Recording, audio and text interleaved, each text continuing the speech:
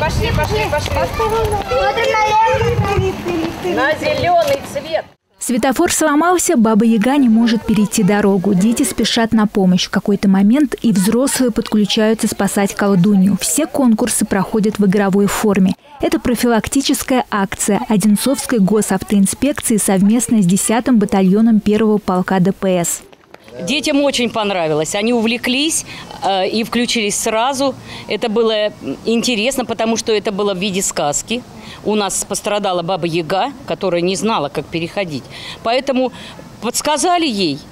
И дети, э, я думаю, что с помощью именно сказки они быстрее запоминают это все. Как правильно переходить дорогу и что обозначают те или иные знаки дорожного движения, они точно запомнили. Красочные плакаты помогают лучше закрепить полученные знания. Также у ребят появился шанс попробовать себя в роли инспектора дорожной службы, изучив, что находится внутри патрульных машин. Мы с ними повторили правила пешехода. У нас был регулировщик, даже жесты регулировщика повторили. Ребята, конечно, запомнили. Они все сами потом показали. Ну, вы же видели, что все показано. Они правильно переходят дорогу. Они узнали, что есть э, двухглазый светофор, а есть трехглазый. Что трехглазый для машин, двухглазый для пешеходов. Время проведения акции выбрано не случайно. 3 июля в России отмечается профессиональный праздник работников Государственной инспекции безопасности дорожного движения.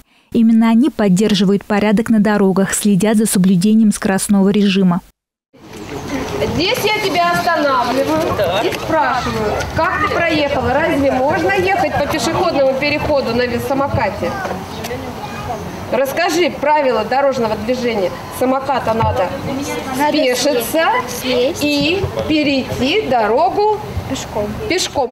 Эта тема актуальна как никогда, ведь катаясь летом на самокатах, нужно помнить о правилах дорожного движения. После акции юные участники с удовольствием делились впечатлениями. Организаторы уверены, подобные мероприятия позволят обезопасить жизнь и здоровье детей. Алтына Урумбаева, Илья Павлов, телекомпания «Одинцова».